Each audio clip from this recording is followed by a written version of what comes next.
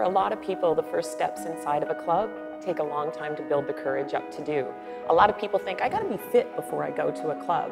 But it's actually the exact opposite. There's a lot of people that are just like you when you're getting started. We have some apprehensions before we go to the club. What do I wear? What's it gonna be like? Are people gonna watch me? We have to remember that everybody that's in a club is working towards the same goal.